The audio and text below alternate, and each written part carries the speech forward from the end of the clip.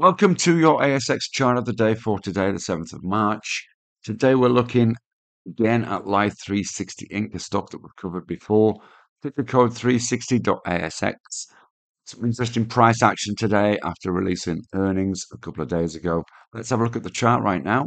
You can see here that earnings bump that we had here on the 1st of March. Uh, since then, we've consolidated around resistance of 12.19. We are looking to give that a go again. You can see has actually touched it in today's trading so far.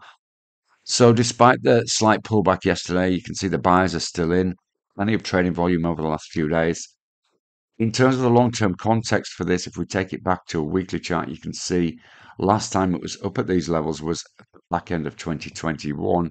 The possible move up to around about $14 looks on the cards which would be a 13% rise from here.